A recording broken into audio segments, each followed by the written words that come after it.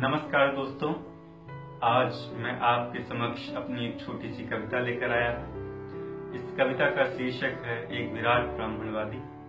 यह कविता भारत की वर्ण व्यवस्था व दुनिया की अन्य शोषणकारी व्यवस्थाओं से संबंधित है।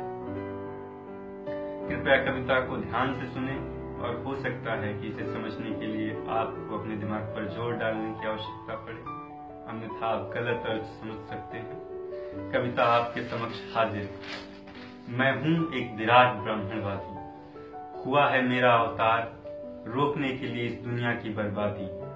लक्ष्य है मेरा, जान और पैर से पैदा होने वाले लोगों को उनकी सही जगह दिखाने की।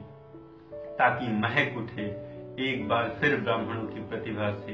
इस दुनिया का हर बाग बगीचा, हर घाटी, हर वाती, मैं हूँ एक विराट ब्राह्मणवादी। बनाया है हमने ये पूरा समाज, लिखी है हमने धर्म की सारी किताबें, गढ़े हैं हमने पूरे के पूरे पैंतीस करोड़ देवता, बनाया है हमने ये सारा का सारा हिंदुस्तान।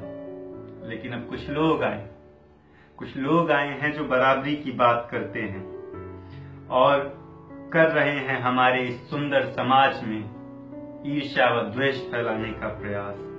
लेकिन नहीं बटने दूँगा मैं ये समाज। और रोक के रहूँगा मैं ये बर्बादी, क्योंकि मैं हूँ एक विराट ब्राह्मणवादी शोषण ही तो है हमारे समाज का परम सत्य। शोषण से ही तो बन पाती हैं बड़ी बड़ी इमारतें, कंपनियाँ व फैक्ट्रियाँ, और कूट कूट कर भरी होती है हर मनुष्य में शोषण करने की इच्छा। और हो ही नहीं सकते हैं सच में, इस समाज के सारे मनुष्य बराबर, ठीक उसी प्रकार, जैसे बराबर नहीं होती हैं हाथ की पाँचों उंगलियाँ। रूस, चीन, इंग्लैंड, अमेरिका बनी हुई है महाशक्तियाँ, क्योंकि उनसे शोषित होती है पूरी दुनिया, और अगर हिंदुस्तान को आगे बढ़ना है तो हमको भी शोषण करना है। और कुछ लोग तो जन्म ही लेते हैं शोषित होने के लिए। और मैं पूरी करूँगा ऐसे सारी लोगों की इच्छाएँ, और रोक के रहूँगा मैं आने वाली बर्बादी, क्योंकि मैं हूँ एक विराट ब्रह्मवादी रखे रखा हमने जान हुआ पैर से पैदा होने वालों तक को हज़ारों सालों तक गुलामों से भी बदसर हालात में, क्योंकि महाविष्णु से मिली ही नहीं उनको बुद्धि और सोचने समझने की क्षमता। रोक कर उनको पढ़ने से रोकी हमने अपने समाज की बर्बादी और रोकते रहेंगे आगे भी करके शिक्षा का पूर्ण बाजारीकरण।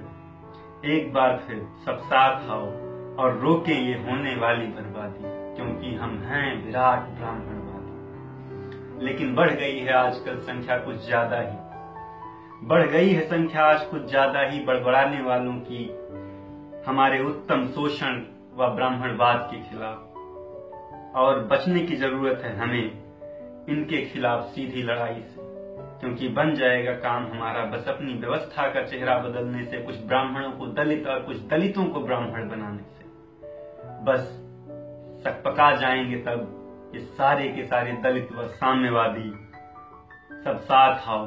रोकनी है हमें इस दुनिया की संभावित बर्बादी, क्योंकि हम हैं विराट ब्रह्मवादी चलो, लगाते हैं होश, ठिकाने, शोषण के खिलाफ और बराबरी के बात करने वाले सारे समाज विरोधी धूर्तों और बनाते हैं एक बेहतर समाज, जिसमें शोषण हो सबको स्वीकार, बराबरी की बात भी करना हो पाप। और आखिर कोई तो हो जो उठाए हमारा मेला, पूरे गर्व और स्वाभिमान के साथ अपने सिर पर। तो फिर साथ आए और बचाएँ अपनी गौरवशाली, शोषणकारी व्यवस्था और आबादी, क्योंकि आप तो जानते ही हैं कि मैं हूँ एक विराट ब्राह्मणवादी। धन्यवाद।